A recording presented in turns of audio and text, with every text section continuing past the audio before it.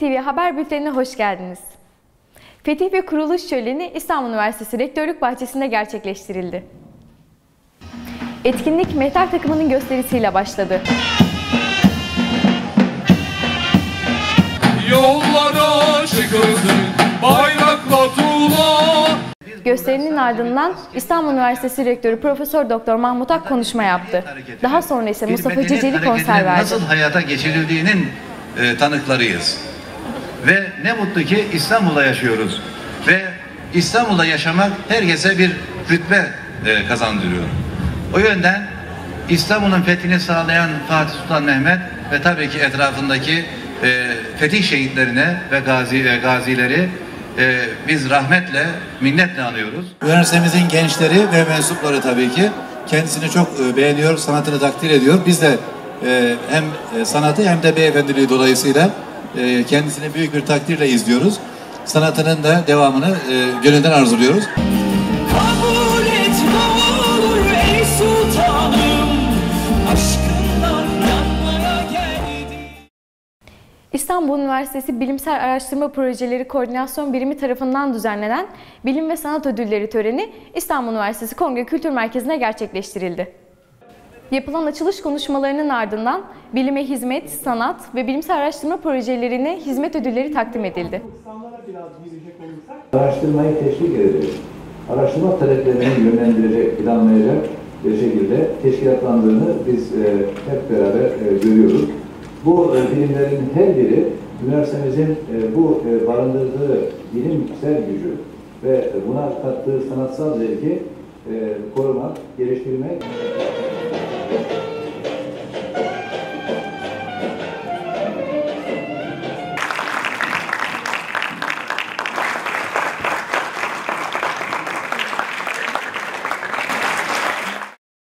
11. Ceza Hukuku Günleri İstanbul Üniversitesi Rektörlüğü Doktora Salonu'nda gerçekleştirildi. Etkinliğe Türkiye ve yurt dışından birçok akademisyen katıldı. Etkinliğin 3. gününde yapılan oturumlarda Adalet Bakanı Bekir Bozdağ ve Yargıtay 1. Başkanı İsmail Rüştü Cirit birer konuşma yaptı. açık dosyalar neredeyse yok denecek kadar azaldı.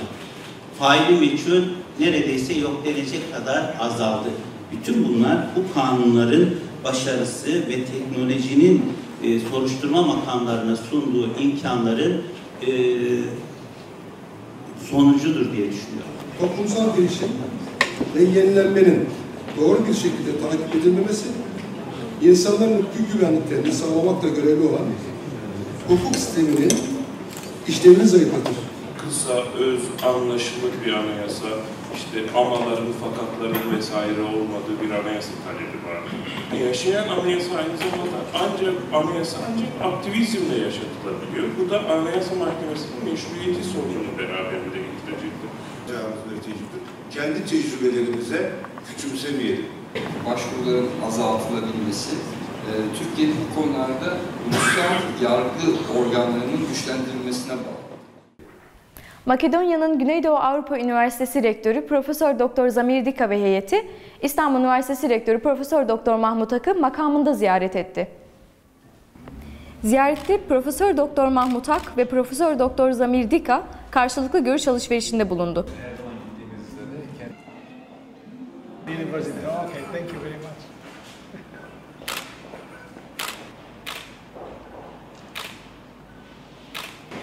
Ziyaret sonrası Profesör Doktor Zamir Dika ve beraberindeki heyet rektörlük binasını gezdi.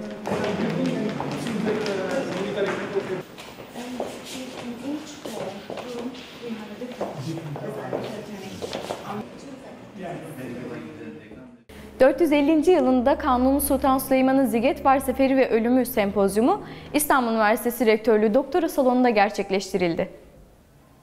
Sempozyum, İstanbul Üniversitesi Rektörü Profesör Doktor Mahmut Akın konuşmasıyla başladı. alanla ilgili fikir yürüten kişiler çok değerli e, fikirler ortaya attılar.